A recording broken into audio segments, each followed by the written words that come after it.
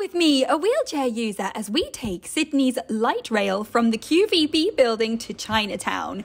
You tap on and tap off with your credit card, which acts as your ticket. Accessible carriages are marked with a silver symbol on the floor. With a zero entry into the carriage, it was a breeze. Priority spaces are marked out clearly for wheelchair this users. light rail tram system has three passenger routes and helps getting around the city a lot quicker and easier. That was good.